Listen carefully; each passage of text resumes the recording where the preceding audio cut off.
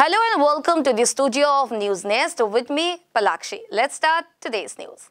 Meghalaya has revised the state entry protocol for domestic and international travelers amid the emerging threat from a new coronavirus variant Omicron. The new regulation issued Tuesday mandate all persons entering Meghalaya enroll in the state testing protocol and use the Aarogya Setu app on their cell phones. Meghalaya has revised the state entry protocol for domestic and international traveler amid the emerging threat from a new coronavirus variant of Omicron.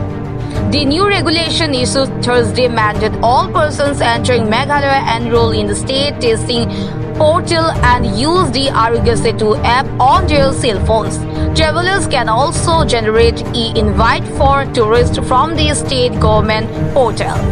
As part of the new protocol, RT-PCR testing at entry is mandatory for all persons coming from countries at risk. The international travelers are also required to submit a self-declaration form. An isolation period of 7 days, irrespective of vaccination and RT-PCR status is mandatory. Retesting shall be done by the concerned official of district surveillance unit. National Desk Report, News Nest.